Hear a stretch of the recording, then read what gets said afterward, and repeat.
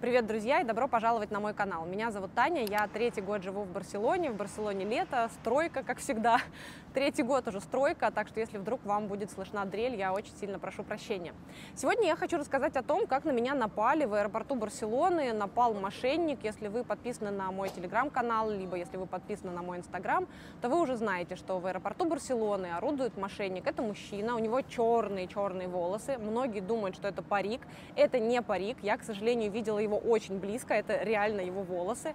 У него черный-черный костюм, черные брюки, ремень Гуччи, черные ботинки и большущий черный чемодан.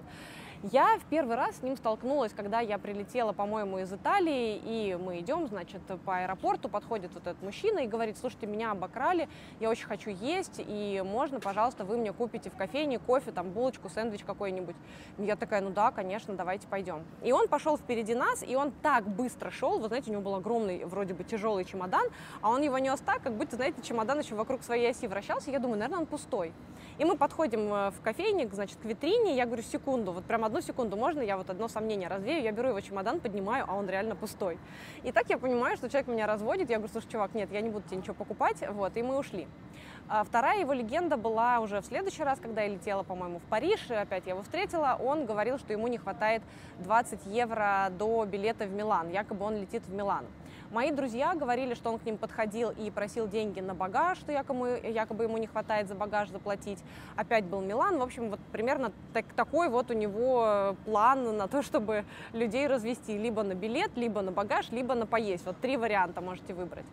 И потом я встретила его в третий раз, и уже это было смешно, и я как-то так забавно к этому относилась. Когда в третий раз он ехал с нами на эскалаторе, там таких два эскалатора во втором терминале, мы стояли на одном, он стоял на втором, и он опять начал про свой Милан. Я ему говорю, чувак, блин, пожалуйста, не надо, потому что это третий раз. Вот, и он начал кричать матом, ну, как-то так, знаете, он был на безопасном расстоянии, далеко, мы просто уехали, я не обратила на это внимания. И вот четвертый раз я приехала встречать подругу в аэропорт, приехала с сыном, мы заходим в кафе, садимся и видим, что за соседним столиком сидит он. И мой сын, поскольку он его тоже видел три раза, он оборачивается и улыбается, говорит, мама, смотри, вот сидит тот самый мужчина. И он это заметил он сначала смотрел на нас, знаете, вот он не понимая, да, мы узнаем, или мы слышим русскую речь, или мы как-то его обсуждаем, то есть, а он с кем-то по телефону там говорил. И он, видно было, что вроде как узнает, что он нас уже видел, а вроде бы можно и попросить что-то. И он подходит, начинает опять «Здравствуйте, Милан» и Саша или я, я не помню даже, кто из нас, говорим «Чувак, это четвертый раз». Он меняется в лице, он начинает орать матом на все кафе, он начинает говорить, что он разобьет мне лицо, что я проститутка, что там, ну, в общем, знаете, трехэтажным, про то, как он найдет мою семью, про то, какой, в общем, ну, я даже не могу это повторить, это нельзя повторять на YouTube, я, в принципе, эти слова все знаю, но когда они складываются вместе, это просто что-то ужасное. Я, ну, не представляла, что в общественном месте можно вот так вот человека оскорблять. При этом сидят люди рядом, никто не обращает внимания, что к женщине с ребенком подходит какой-то агрессивный мужчина. Он подошел очень близко к нашему столу, и я ему так показываю руками, тихо, типа, тихо, тихо, тихо, не надо кричать. И он начинает на нас плевать тут я понимаю, что происходит что-то не то, что он правда может меня сейчас ударить, потому что он просто, знаете, он, у него глаза кровью наливаются. Я встаю, и, ну, единственное, что я могу сделать, это пойти к баристам. Мы, я говорю, Саша, пойдем, я беру ребенка. Этот продолжает орать, он продолжает орать, сыпать проклятиями, как он мне переломает ноги, как, в общем, ну, просто абсолютно неадекватно себя вести, плеваться. Никто не подходит защитить, ни один человек просто не встает даже со своего места, все просто с интересом наблюдают, что же происходит. Я подхожу к баристу и говорю, слушайте, на меня нападает человек, он мне угрожает физически, он плюет в нас, ребенок тоже стоит с такими глазами. Бариста единственное, что делает, говорит, ой, да, я его знаю, и кричит ему, иди отсюда.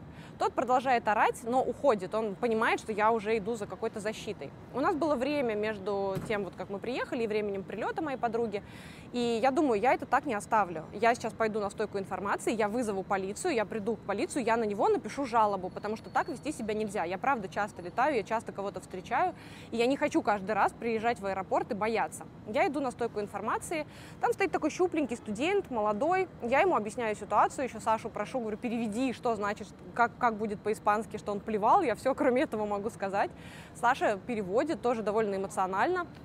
На что этот студент мне говорит, да, я его знаю, вот этого человека, да, он здесь в аэропорту у нас постоянно отирается, он здесь живет уже несколько месяцев, но, вы знаете, полиции нет. Я говорю, ну мы же в аэропорту, но такого ведь не может быть, чтобы в аэропорту не было полиции. Он говорит, ну нет, сейчас нет полиции, потому что уже 10 вечера, и полицейские ушли спать. Я говорю, то есть на весь второй терминал, это огромный терминал аэропорта. Я говорю, нет ни одного полицейского. Он говорит, нет, есть сотрудники службы охраны, вы их дождитесь, сейчас вот вы вместе с ними там напишите какое-то заявление или что-то.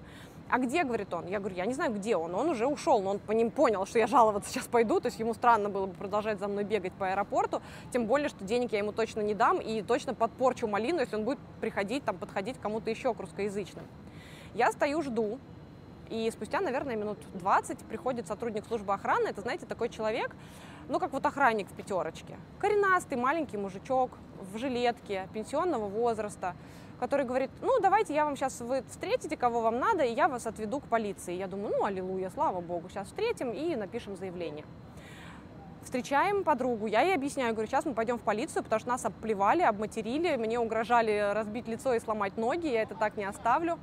И поворачиваюсь, этого мужчины нет, охранника, он ушел. Вот, он просто ушел, мы стоим в аэропорту, реально нет никого. Я подхожу опять к этому баристу, и бариста мне такой говорит, что еще и ограбили, да? Я говорю, нет, слава богу, не ограбили. Я говорю, где полиция? Он говорит, ну вот там есть пункт. Мы подходим к пункту полиции и, понимаете, не соврали. Полиции нет. Закрыты ставни, закрыты двери, все закрыто, никого нет. Есть кнопка, знаете, если с вами что-то случилось, звоните. Я звоню раз, гудки, тишина. Я звоню два, гудки, тишина. Я звоню три, гудки, тишина. Просто тишина. Пустой аэропорт, никого нет. То есть меня могли там, не знаю, все что угодно со мной можно делать сейчас, ничего никому не будет. Окей, что делать? Поехали домой. Гадкое абсолютно чувство, ужасное чувство, знаете, э, беспомощности, что на меня нападают, а сейчас, не дай бог, я поднимусь там к поезду, а там стоит этот же, и он реально может меня навалять, и ему ничего не будет. Ну, понятно, что я буду как-то сопротивляться, но я, в принципе, не дерусь. На выходе мы встречаем еще одного сотрудника службы охраны. Я подхожу к нему, это тоже дедуля. Я говорю, дедуль, где полиция? Он говорит, так нет, полиция. Он говорит, нету, 10 вечера, полиции в аэропорту нету. Я говорю, как же так? Ну, я говорю, на меня вот этот мужик напал. Он говорит, да, мы этого мужика знаем, ну вот что делать? Я говорю, ну, жаловаться? Я говорю, я хочу жаловаться, я хочу написать заявление. Он говорит, ну какое заявление? Ну вы же понимаете, да, нападать, конечно, плохо. Но сколько воруют, говорит, это же тоже очень плохо. Я говорю, так может быть хоть одного полицейского тогда на ночь оставлять, если у вас и воруют, и нападают на людей в аэропорту, а никто никого не защищает. И мужик мне говорит, да везде воруют, да это не только в Барселоне. У нас все нормально, только на меня еще, знаешь, типа, что это я на Барселону тут наезжаю, что, видите ли, мне небезопасно я понимаю, что окей, ничего нам не светит. Мы пошли на станцию, там долгий путь, мы пошли на станцию, поезда не было 40 минут, все, на все плюнули, решили, что поедем на такси. И вот когда мы уже возвращались к стойке такси, приезжает патрульная полиция. Машина и вторая машина побольше. Я думаю, вот он мой звездный час. Сейчас справедливость восторжествует. Я подхожу к полицейскому, описываю ему ситуацию, говорю, что я вообще боюсь, он на меня напал. Полицейский просто расцветает, он говорит, да, я его знаю, он живет здесь год. Этот мужчина год живет в аэропорту Барселоны. Он мне показывает место, говорит, обычно он спит здесь, но сейчас его, видите, говорит, нету. Я говорю, вижу, что делать будем? Он говорит, пойдемте его искать а мы с чемоданом втроем, мы час уже здесь мыкаемся, ребенок. Я думаю, окей, я это так не оставлю. Я говорю, пойдемте искать. Мы заходим в терминал, за нами заходят все полицейские, просто все полицейские, которые были в этих двух машинах, и все стоят, и мы стоим. Он говорит, его здесь нет. Я говорю, ну, я вижу, да. Он говорит, ну, скорее всего, он уже уехал в первый терминал, потому что он знает, что вы здесь, наверняка он понимает, что вы будете жаловаться, потому что, говорит, знаете, он очень на многих нападает. Он никого не бьет, но он очень многих материт трехэтажным матом, угрожает тоже расправой, и люди жалуются. Я говорю, а что делать? Он говорит, ничего, мы ничего не можем сделать. Я говорю, ну как вы ничего не можете сделать? Я говорю, то есть, ну типа, знаете, как в России было, да, убьет, звоните. Я говорю, то есть он должен меня побить. Он говорит, да. Но это важно, что если он, например, просто вас заденет, это разное. Если он вас заденет и случайно вот так тронет, и вы скажете, что он вас побил, то вы дадите ложные показания. Тут важно различить, как именно он к вам прикоснется, насколько это будет агрессивно, оставит ли это какой-то след, оставит ли это синяк там или что-то. Вот тогда мы сможем что-то сделать. Я говорю, а если он плюет в меня? Он такой, ну плевать не преступление. Я говорю, то есть я могу плевать в него в ответ. Ну нет, потому что это нарушение общественного порядка. Я говорю, а как, в чем логика? Я говорю, то есть я, я часто летаю, я приезжаю в аэропорт, я боюсь его, но я реально его боюсь, я не хочу быть побитой, я не хочу быть первым человеком, окей, его из-за этого посадят, например, и то не факт, кстати, но я не хочу пробовать, я не хочу на себе это проверять.